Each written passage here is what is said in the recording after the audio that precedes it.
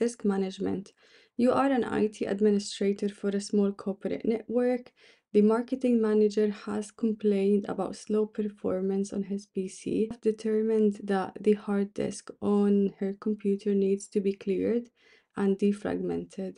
In this lab, your task is to run the disk cleanup on the C drive and to do the following. So you need to delete the thumbnail, do not delete temporarily files. So let's do that. So let's go to the file explorer, click on it. I'm just gonna make it bigger so it's easier to see. Okay, so now that we're here, we're gonna go on click this PC. Then we this is the local disk C where we've got the operating system. So right click on the mouse and then click on properties. So over here you've got general. So let's do the disk cleanup as they've asked us to do.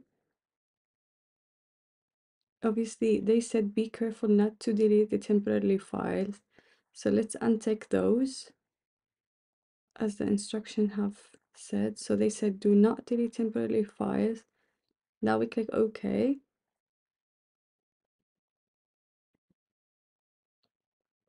So we continue with the cleanup.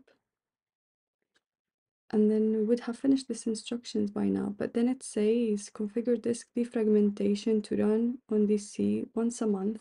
So to do that, click on tools and where it says optimize the defragmentation drive, click on optimize and then change the settings and change it to monthly.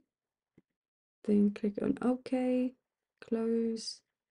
That's it, we're done for this lab, so let's score it. And you've got a 100.